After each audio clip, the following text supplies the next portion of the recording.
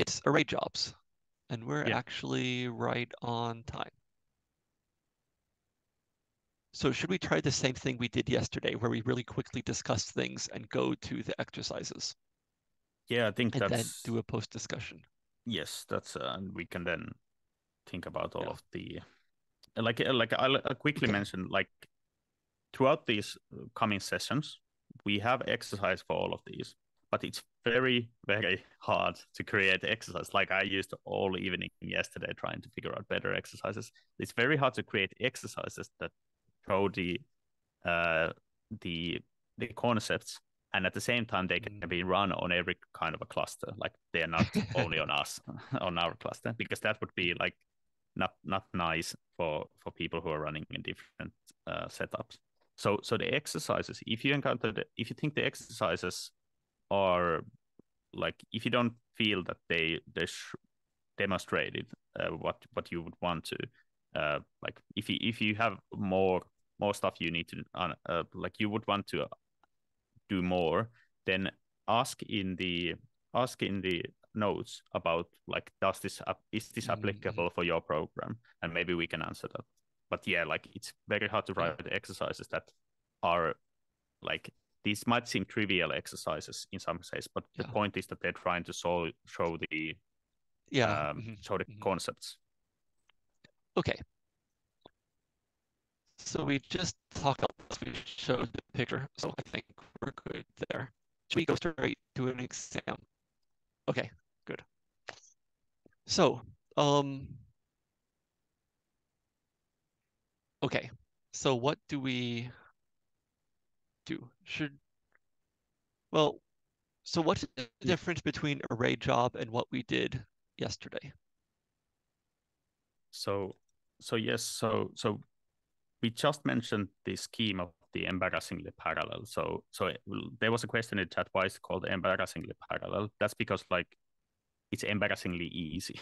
it's easy to do, and and these um in in like it basically means that you're running like if you think that you would run like sa- same command on multiple terminals at the same time that's basically what this is but it makes it so that each of these terminals or each of these Mhm. uh, commands gets executed in a different place with its own like with that definitely has the resource to run the stuff. So so previously when we were running stuff in the queue we were using these serial jobs and these SBATCH scripts. So in the in the script, we had written what sort of requirements we wanted with the comments, the SBATCH comments. We were putting there uh, like time time required, memory required, that sort of thing, and then we were putting whatever code we wanted. And when we submitted that to the queue, that got executed somewhere. So what if we do that, but we do that multiple times at the same time? And this is the idea behind the array job. Uh, so with the array uh, job, we have this array uh, syntax or this comment, this uh, SBATCH comment. So over here, we have an array that goes from zero to, to four. So it goes from zero, one, two, three, four. And what Slurm things. when it sees this comment in your SBATCH script, in your like normal script, it will understand that okay, the user wants to run five copies of the same thing. I will book five different jobs, but as as a like a collective. So so like or I will book like five jobs that are independent and they are called an array job. And all of these jobs are the same, exactly the same. And the only difference is that Slurm will set this one environment variable called Slurm array task ID. An environment variable, I don't think we mentioned it yesterday, but these are basically like stuff that you can then use in your uh, in your script. So they are like like variables set to the terminal. And when Slurm sets this uh, environment variable, you can then do whatever you want with that, as long as like that does something. Uh, so you can choose, let's let's say a da- data set, or you can choose a different parameter or something. Uh, if you like, there, and there's mul- multiple ways of doing it, but you you can use this environment variable to, to decide what the program wants to do, basically. So if the number is zero. I'll do something. If the Yeah. number is Okay, one, I'll yeah. do something. So maybe we should So just ex- go to the For example. example, like last night, I can make an array job from zero to four. The job zero processes the zeroth video in the list, one processes the first, and so on, Yes. or something like that. Okay. Let's, can we see an example? Yeah, let's just Here we let's go. just do this first example Okay. here. And... So Richard is now uh, going to the HPC examples repository, so in in his home directory. So Yeah, uh, okay. at this point, I, I again say that it's good idea to log in to your cluster and and go to the HPC examples folder, so that you can Yeah. then do the same kind of thing. Okay, So let's create a new file called the array example.sh. okay. I'm making it with a dash instead. Yeah. So Should I'll copy the basic stuff. yeah, yeah. So let's uh, let's uh, focus Well, quickly before we move let's- forward. Yeah. okay. This Yeah, is the let's- basic stuff we did yeah. yesterday. Yeah. So so the basic stuff. So, So- here we see that this is basically like a, a normal normal like stuff that you would add to any kind of a like a, a Slurm script. And now we are adding two lines actually. Here we have a one line that has these weird characters. We'll talk about them after we see the output probably. But let's just let's just use those because we uh they we- we'll see what what mysteries they will provide us. Yeah. So I guess then- this sets the output files somehow. Yes. And then let's add the array thing. So here we have an array from 0 to 15. So we can calculate that, okay, there's 16, um, 16 different like jobs that we expect. And now let's Mhm. put some commands below there. So what Richard will place here is that he will put the command called echo, which will just print stuff onto the screen. And Yes, and then he will put this environment variable here. So what we expect, like if we look at this code, what do we expect? We expect that the- when we give this to Slurm, Slurm we, would book us 16 jobs, one with each ID. And each of these jobs should print something like I'm a ta- array task number and then the number that they've been given. Mhm. So let's see if this happens. Okay, so I will control X to exit and save. And should I S batch it? Yes. And again, sure uh, when we're talking about bash and S batch, remember different words. They are very hard, Yeah. annoying to, to pronounce. But sbatch So to I submit it. S batch array example.sh. And then should I slurm q to see how it's going? Yes. It might. Let's hope that it's not finished. Okay, so now Oh, we see that there's lots of these jobs now. Like we something really happened. So and at the start we see that there's like strangely two numbers now at the start, and we noticed that the first number uh, before the underscore is some number, and then uh, after the underscore we have another thing, and and this is very easy to decipher. So the first number is the Slurm job ID. So when you give this array of the Slurm, it will make one of these job IDs for the whole whole uh, submission, and then it will, with this underscore, separate the array ID. So each of these second numbers corresponds to the array ID. So let's Yeah. check what the output is. So if you type ls, Oh, okay, Now we see- files. yes, and and if you look at the pattern of what's in in the name of these files and compare that to the pattern that we put into the SBATCH script. So in the SBATCH script, we wrote dash dash output equals array underscore example underscore, and then this percent capital A underscore percent small a. And these are basically wildcards. There are a few of these in Slurm.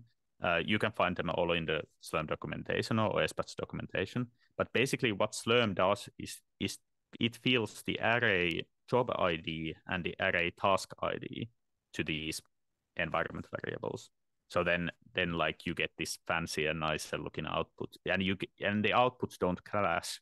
The main point is that like if you write all of these, if if you would have only one output file, then everybody of these would be writing to the same file, and that like it makes it impossible to see what is the output really. So what you want to do usually is to dive, uh, divert the output into each, uh, so that each task gets its own, uh, or each yeah each uh, array task gets its own output file. So let's look at one. Yes. Okay, so we're looking at the zeroth one, I guess. Yes. I will use the less program like I do. And yes. I'm array task zero. Should I look at a few others? Yes, and Q to quit there. Yeah. So I guess like Yes, and do you want to show like Slurm history? Uh, mm-hmm. So if we look at the Slurm history, uh, do they all end up on the same node? Uh, uh, like you, I okay. think you zoom can so that make it smaller. Yes. So 30, you see that 31. Yes. So you see that many of 36. these ended up onto uh onto like CSL 44, 36, 31. They ended up on different machines. So they are completely independent and they can end up to different places. So the main thing is that they got the memory and the time they needed. And and they all get the same request. So it's there's no multiplication or anything like that. Like you don't have to divide anything or something. Like it's just like they all get the same resources. They get the same time, same memory, and they are completely independent. So each of these gets 200 megabytes of memory and 15 minutes of time uh, as per the request. So yes, let's. Uh, I think we could so yeah, what else is there before the exercises? This is basically the main idea. Yeah. So, so yeah, maybe yeah, we can go to the exercises. But yeah, we have some examples here of different mm-hmm. ways you can use this array index. So you can basically, yeah. let's say you have different input files, you can put it the array task ID to decide which input file to use. You can use this uh, this case uh, syntax uh, if you scroll a bit mm-hmm. down, uh, this like here case syntax to decide on like in this case based on like the Slurm task ID. Each job will more... choose a different parameter there. You can also and this is use bash syntax here. Yes, that's so bash. bash doesn't just let you type stuff, but it's a whole programming language for running things. So depending on what this is, it sets a seed differently, and you notice it gets put as an argument here. Yes, and uh, and you can also like read full lines from a file. There's an example of that as well there, mm-hmm. and and mm-hmm. even more things you can do. Uh, but but I yeah. think now it's a good time to maybe ch- just jump to the exercises, and then let's return to these afterwards. So in the exercises, we'll run the we previously run the pi.py uh, to to run multiple uh, like we run the simulations of of the pi uh, iterations. So in this case, let's let's do iterations in the array jobs and let's let's collect them together and get the better estimate for pi. And uh, in the first exercise, I will mention that like part of the output of the pi.py is thrown into the standard error uh, and part of it is thrown mm. into this output file. So if you just like use this uh, SBATCH dash error, you will you can like get the get the JSON output and the and the rest of the like human readable output separated. So so that's why it's it's mentioned there. So but yeah, let just try running these um, exercises and let's see what happens. Let's see are there any. Yeah. And, and I guess and ask... we come back. Yes. Uh, after. Well, when do we come back? After, well, it's almost break time now. So should we give 15 minutes to work on it? So come back at 15 past the hour. Yes, yeah, I think that's a good idea. And ask your questions in the chat. There's already like a few good questions. We'll try to uh, answer them. Okay, so here we are, exercise info. Um, yes, so now's the time you may have lots of questions about how to actually use this. So do let us know. Yes. Okay. So see you in about half an hour. See you. Thanks. Bye. Hello and welcome back.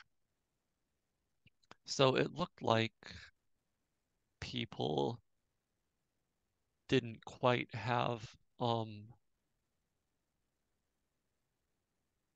their exercise didn't quite work out.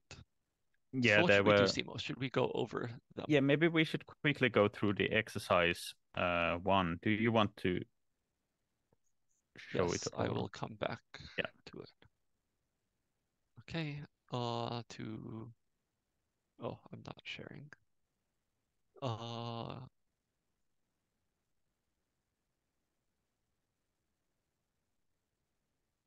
okay, here we go to my screen. Yeah. We'll adapt Okay. the code in the future so that we, it has a flag so that you can quiet the rest of the output or something like that so that we don't have to worry about the error error Yeah. thing. Uh, that's something that uh, we'll have to modify in the exercise in the future. So, um, yes, where are we? So, exercise one. So we'll have an array job that combines different iterations and seed values and saves them to different files. Should I open a script? Yes, Uh, let's call it like a nano array exercise one dot sh. yes, and yeah, let's put the Ah. usual liturgy there. So in this case, what we want to do is like, okay, we have, we want to run multiple different uh, seeds, for example, like, uh, and for to do that, uh, let's use the case statement. So let's uh, in the in the previous like possibilities of how you can use the uh, the Slurm array task ID. There's this uh, this case statement. So this is like Richard mentioned, like Bash has its own way of like like it it has its own programming language. So you can use these case statements here. So based on the value of the Slurm array task ID, let's let's choose numbers for the iterations and for the seeds. Mm, does this look good? Yeah, let's well we can try it out. Doesn't doesn't hurt. Yeah, and let's run a few of these.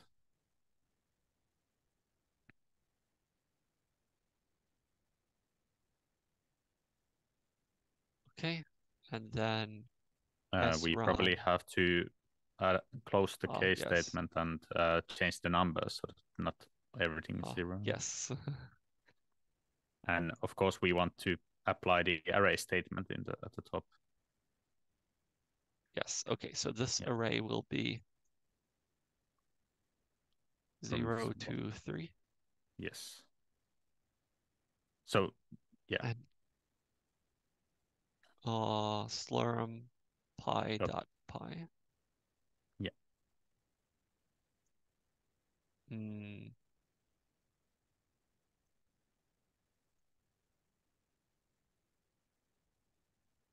And then that number of iterations. yeah. Let's let's put like what we had in the um in the exam exercise. like, Let's put the output Mhm. files and the error files. So in the in the code, like some of the stuff is printed the standard error. In the future, we'll add a flag there that you can silence the like doing this number of iterations, these kind of debug flags. So let's let's for now let's let's just like put all of the like the the output here is the like the output of the code. So the output Mhm. uh, that we want the JSON output and and then the error uh, that needs to be the SBatch error. Ah, yes. Uh, Yeah. So let's let's let's put the rest of the uh, printing there. Yeah, we'll adapt this in the future. Yeah. But you can you can do this like you can do in any code. Like it doesn't have to be array code. So if you want to put the errors somewhere else than the Mhm. output, because sometimes stuff can print like like uh, debug stuff onto the standard error. Yeah. So yeah, Okay. Let's run this. Uh, does this look good? How many problems do you think there'll be when we try running it? Uh, it looks I guess the main it looks good oh, to me. Yeah. I see. Oh yeah. Yeah, nice the catch, yeah. interpreter. Yeah. And I need to make sure I'm in the correct directory where Yes. slurmpy.py is found. So I will exit and save. Control X, Y. Yes. I will list slurmpy.py to make sure it's there because if I wasn't in the right working directory, this wouldn't be found. Okay, should I sbatch it? yes. Uh, are we ready? Yes. Let's go. So two and three are running. Those are the larger number of iterations, so I guess it makes sense they're taking a bit longer. So maybe we want to check one of the output files that already finished. They're done. Oh, yeah. So I list, so we see array exercise one, error and output, two, three. So yeah, this first column is what we expected. So should we first list Yes. the output? And this time I will use the cat program so we can see them both together. So cat Yeah. has just that in it. And if we cat the error, so this is actually doing what we'd expect it to do. So yeah, but yeah, so we shouldn't write in the standard error. I think we should just sil- The- like add a flag to silence the output. Mhm. Yeah. So this Yep. is how some programs work. So the idea, there's two different output streams. So the output has only the like primary output of the program that will be reread. And um, the error contains these other status messages. If you needed them both and you didn't quiet it. Okay, Um, so yeah. In the should we list a different one? Uh, I think we need to move forwards, but maybe I could answer one of the questions uh, in the array array job questions that was really good. Uh, if you'll share my screen. So Okay. there was a, Uh, oh, I'll have to start the you need to share. Yeah, I'll take this over. Yes. So there was a question in in the notes about like how could you use, for example, use array jobs uh, when you're doing like uh, uh like training a neural network or something. And and this is like very common thing that like the answer was that you can basically like run different hyperparameters and that sort of things like learning rates and that sort of, of stuff on different array jobs. So you can test out different parameter combinations. So this is quite often what people do with array jobs. So so let's look at this code, for example. So if you quite often, if you're coding something, you notice that you might have a for loop outside there. That you you do a for loop over some parameters or something, and then you do do run some code, and then based on the code, you like maybe plot out the picture or something like that. And this is uh this is quite yeah okay it's not showing fully. So this is Oh, quite yeah, common. sorry.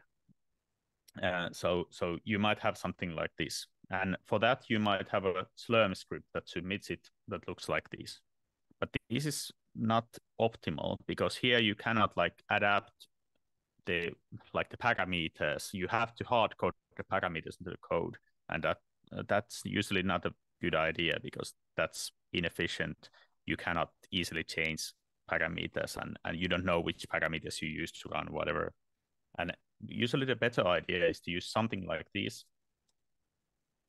that you write some sort of like uh, argument handling to your code.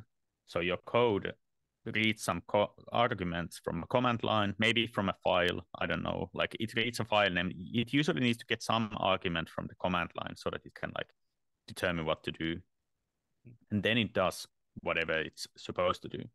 And if you have your code written like this, you can easily write an array job where like you have an array job and then you choose the parameter and then you run the code with that parameter. So this is like pseudocode, so it doesn't work actually, but but like the, you get the idea probably. So you can now run this array job, and because we have the array, you suddenly have twice the like speed, twice the throughput of your program. So now you can run two parameters independently at the same time if they're completely without modifying the code, yeah. which yeah. is the like, important or, part. Or the only modifications you need, you need to have some logic in the code so that you can give it stuff based on uh, based on some arguments or some other thing. And this is good in in a technical sense. You you always want to write stuff that you can like. You don't always have to hard code the parameters of your models and stuff into your code itself. But okay, like yeah. let's move forward. I think we need to. Yeah. Yeah. So can you show exercise five? There's a oh, quick yeah. question there. Uh, or should I share my screen? Yes. Yes. I'll you come back share. to my screen. Yeah. Okay. So exercise five, someone had a question that so we should go on soon, but we'll point out the point here. So the point of the array jobs is that all the boxes are the same size, the same number of CPUs, the same amount of memory. So even though you can tell this memory user program to use different amounts of memory, they all have the same amount of memory requested. So either some of them run out of memory or some of them are requesting too much. And this is not sort of the right way of using array jobs, or at least not it's not how it's expected if the memory differences are this much. You could put another way. So postal services give box bulk discounts for shipping boxes of the same size. And just like this. Yeah, so if you if you put if you have uh, programs that are like or if you have posted stuff uh, that is very small and you put it in the huge box because some of your stuff fits into the huge box uh, or needs the huge box, that's not the most efficient way of posting stuff. Yeah, like so so the memes like, about getting something from Amazon and it came in a box that's far yeah, too big. Yeah. So the reason is that they have like a bulk discount on these huge boxes and then they fill it with like environmentally unfriendly like plastic or something to to make up the difference. So so it's the same thing. So when you're submitting a, an array job, you would want the jobs to be similar in size. Like some in some cases, if you have like I don't know, you want to go through million things, and all of these million things they depend how long they run, so that they they can be like you don't know when they finish or something. So there are ways of like grouping the jobs together so that you get like similar runtimes for all of these jobs, mm-hmm. or you can make it so that like each job will uh, run a certain amount of jobs and then you wish that the mean mean goes towards like a certain value. So so if you run like if your jobs might take minute or 10 minutes uh, and then you run like 100 of them the average starts to turn out because of law, law of large numbers. You, you start to reach towards the average. So you can like decide the time based on the average of the like all of the small jobs but this is like again more complicated stuff and let's not go there. But but there are ways of tackling these things but usually you want your array jobs each box to be like each job it needs to be similar to the other ones if one has a higher memory consumption then it forces everybody to have a higher memory consumption and that's mm-hmm. not good